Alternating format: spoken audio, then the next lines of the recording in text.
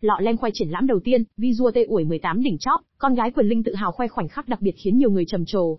Tối 9 tháng 7, con gái Quyền Linh Mai Thảo Linh hay còn gọi là Lọ Lem, đã đăng tải loạt ảnh xuất hiện trong buổi triển lãm về hội họa.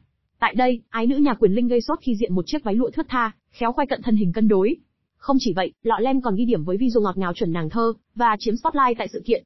Được biết, Lọ Lem xuất hiện với tư cách là chủ nhân của các tác phẩm bên trong buổi triển lãm. Đây cũng là triển lãm tranh đầu tiên mà con gái lớn của MC Quyền Linh tham gia. Trong ảnh, Lọ Lem khoe giấy chứng nhận của ban tổ chức triển lãm và xúc động chia sẻ, triển lãm nghệ thuật đầu tiên của mình. Đêm đó tựa như một giấc mơ. Cảm ơn gia đình mình và mọi người đã đến ủng hộ chúng mình. Lọ Lem được bố mẹ đầu tư theo học tại trường quốc tế British Vietnam Miss International School với mức học phí khoảng 500 triệu trên năm. Đồng thời, trong suốt khoảng thời gian đi học, Lọ Lem cũng luôn hết mình với đam mê nghệ thuật của bản thân và thỉnh thoảng lại khoe những tác phẩm ấn tượng của mình lên mạng xã hội. Thời đi học, Lọ Lem có thành tích rất xuất sắc, nhiều lần được tuyên dương trên trang mạng xã hội của nhà trường.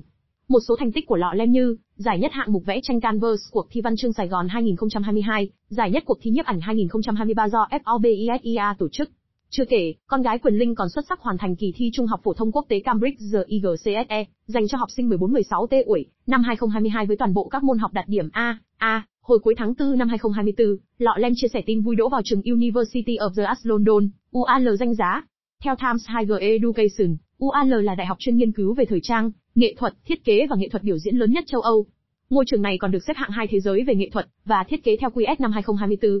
Tuy nhiên, trong một phần trả lời bình luận, Lọ Lem từng tiết lộ bản thân sẽ học trong nước thay vì du học. Lọ Lem hiện sở hữu 1,2 triệu người theo dõi trên TikTok, hơn 400.000 người theo dõi trên Facebook và hơn 300.000 người theo dõi trên Instagram. Lọ Lem cũng thường xuyên cùng ba mẹ xuất hiện ở các sự kiện giải trí và được khen lễ phép, ngoan ngoãn. Nhờ sở hữu vẻ ngoài ấn tượng, Lọ Lem được nhiều người kỳ vọng sẽ sớm tham gia các cuộc thi hoa hậu. Về vấn đề này, Quyền Linh tâm sự rằng anh không hướng các con vào showbiz mà muốn phát triển tự nhiên. Để bước vào cuộc thi hoa hậu đã là một áp lực rồi, thành hoa hậu lại càng áp lực nữa, không đậu thì còn áp lực kinh khủng hơn, nam MC tâm sự. Dù vậy, Quyền Linh sẽ không cấm cản mà vẫn tôn trọng quyết định của các con khi trưởng thành.